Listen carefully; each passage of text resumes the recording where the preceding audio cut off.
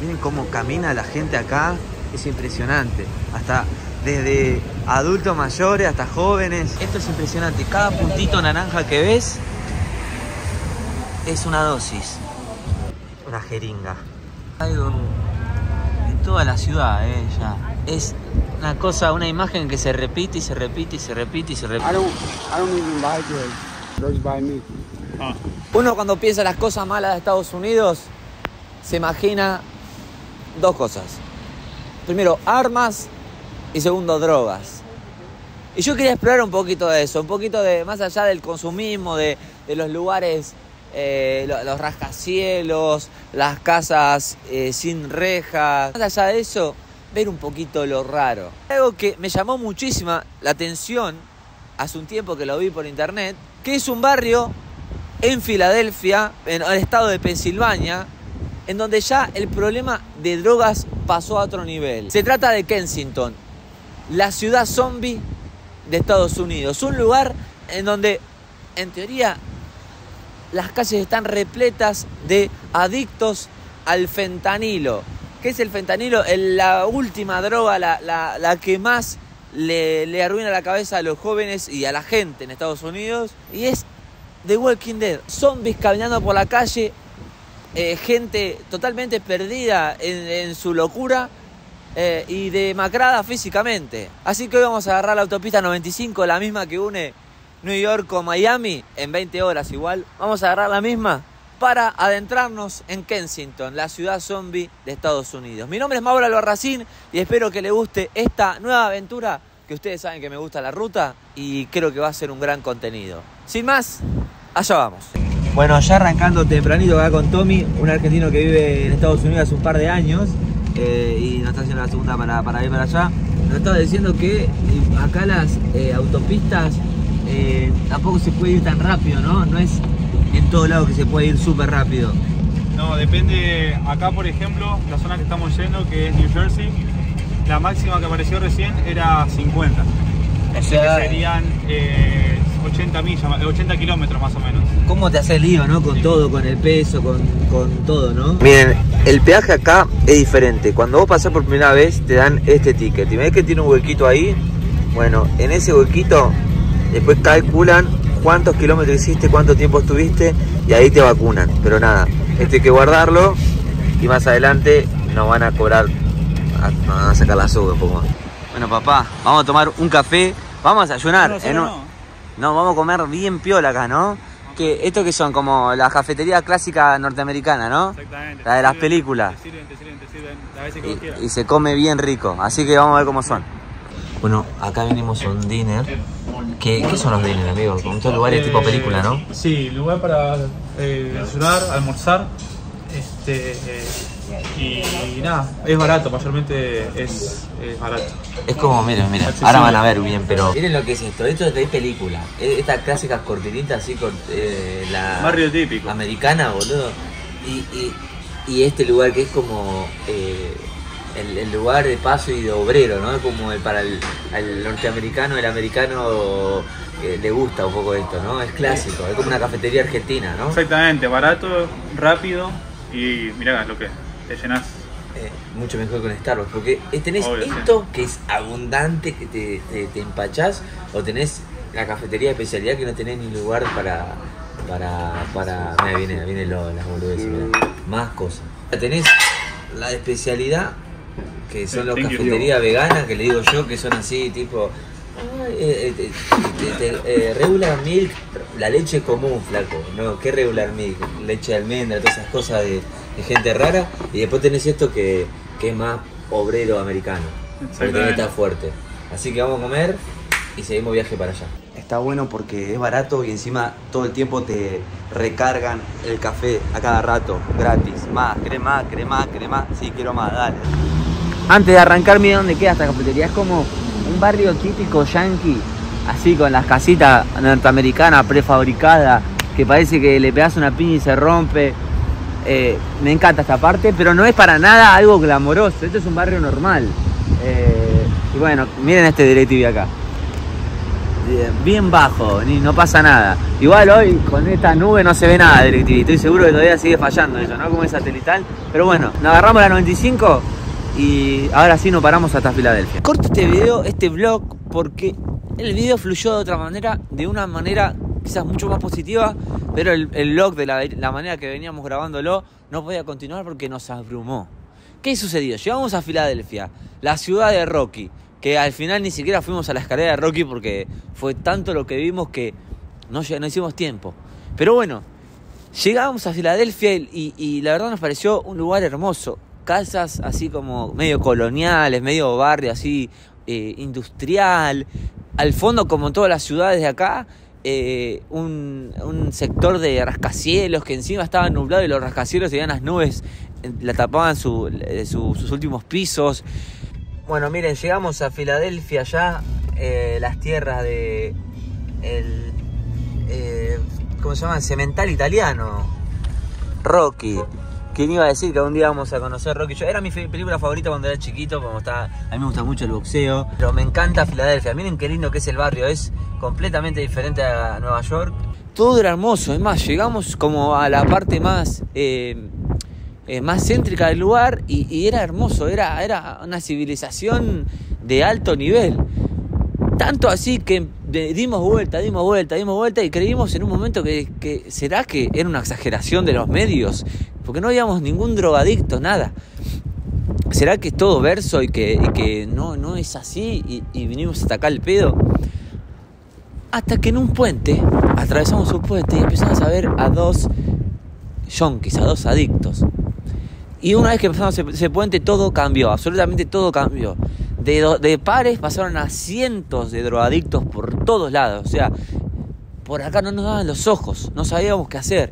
Es más, no sabíamos eh, cómo abarcar todo eso, cómo explicarlo, cómo, cómo grabar. No sabíamos si podíamos grabar. No, estábamos en un lugar que, que no teníamos ni idea de dónde sí y dónde no. Hasta que llegamos a una iglesia, eh, o una especie de iglesia, no sé qué era. Nos acercamos porque había un cartel que decía test de VIH. Bifiamos, había muchos adictos que se amontonaban para ingresar ahí. Nosotros creímos que era el test de VIH por bueno, la- las, las agujas que usan todo el tiempo y se contagian, ¿no? No lo sé muy bien.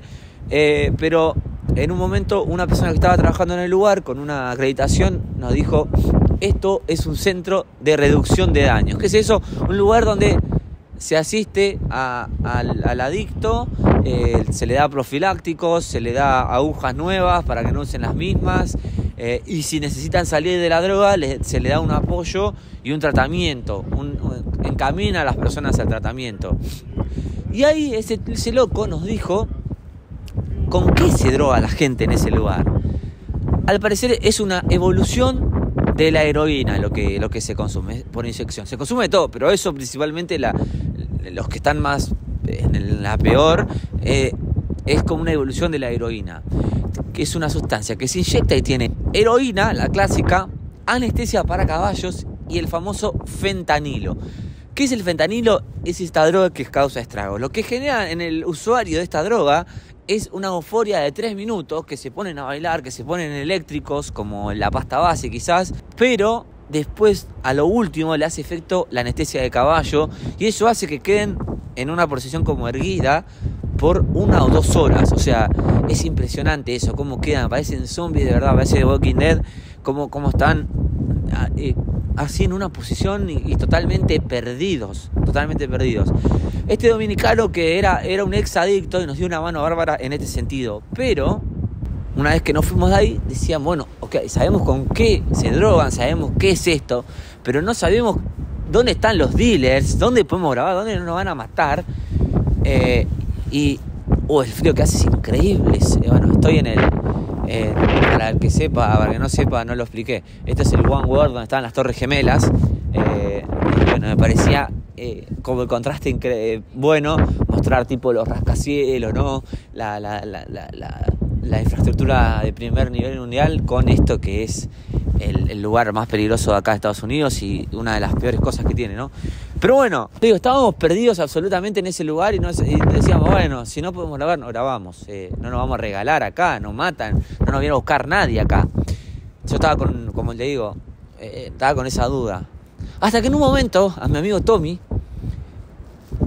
un- una persona con una camioneta gigante, se le acerca y le pregunta, che, ese no es el pibe que hace videos en Buenos Aires, en los barrios. ¿Y saben qué? Siempre han roto para un descosido. Tenía acento argentino. Y sí, había un argentino en los suburbios de Kensington.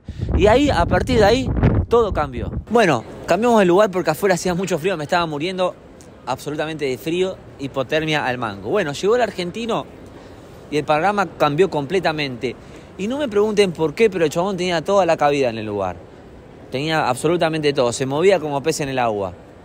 No tenía Instagram, no tenía Facebook, parece que es un verso, pero de verdad se movía como ninguno eh, en Kensington. Y nos empezó a, brindar mucha data que en cierto aspecto nos ayudaba un montón a entender el problema, pero a la vez nos daba un poco de miedo porque decíamos, ok, nosotros nos estábamos mandando acá y era re picante y no sabíamos. Como les digo, empezamos a ver todo de otra manera y empezamos a caminar y veíamos la, la- la- las tapitas de las jeringuitas, las tapitas naranjas por todos lados. Hasta inclusive había jeringas tiradas en la calle por absolutamente todos lados. La que vemos acá son 15 dólares, una dosis. Esa cosita naranja de ahí es una dosis, mirá.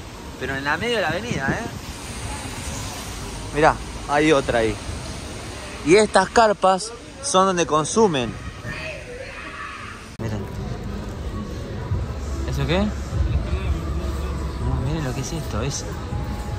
¿Cuántos contamos? Más de. Uh, se estaba pinchando al toque ahí.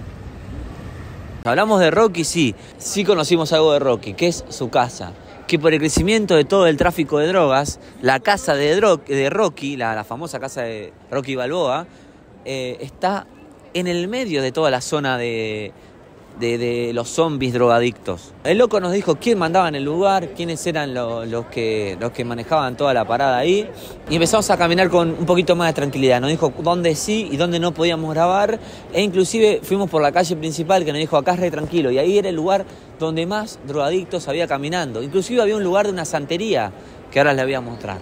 Miren esto, Botánica San Expedito en el medio de la avenida Kensington. Y lo que me dicen acá es que cuando un dealer viene abrir un nuevo negocio, obviamente te hacen como todo un ritual para que haya buena vibra en tu negocio. Miren cómo camina la gente acá, es impresionante. Hasta desde adultos mayores hasta jóvenes, todos. Y esto que ven acá es una cuadra que es transitable, es que normal. No, no es de lo más picante. Llegamos a un lugar, a un spot de, de drogadictos que ve con esas carpas y demás. Y me llamó mucho la atención un pibe joven, rubio, de ojos celestes, bien vestido, como que era de otro lado, pero estaba drogado. Y como ya andaba más suelto, le fui y con, con los que me acompañaron le hablamos un poco y le dijimos, les preguntamos si querían salir en el video. Eh, siempre me había llamado la atención el concepto este de white trash, la basura blanca de Estados Unidos, que eran como, son como los drogones, pero que son, no son afrodescendientes, sino son blancos, bien gringos. Y bueno, este chabón eh, era uno de ellos y estaba totalmente ido y era muy joven. Name? Jack. How are you feeling now? Right now? How are Right you now, I am feeling a little anxious, Yeah. but um, I guess I'm Davian. You know, I'm okay. Uh, where are you from? I'm from right down the street, Mamas and Roofs. Oh, you was born here? Not born. I was born somewhere else, but raised here. Oh, okay. Uh, do, you do drugs, right? Yes, I do. Oh, yeah. Which drug do you do? You do? I do crack cocaine right now. Oh, okay. You do today? Yes, I do. How long have you been uh, taking drugs? I've been using. I first started using ice for crystal when I was 10 years old, 10 years old. and um, it evolved into like progressively doing it every single day, nonstop. You know, by the time I was 16. Yeah.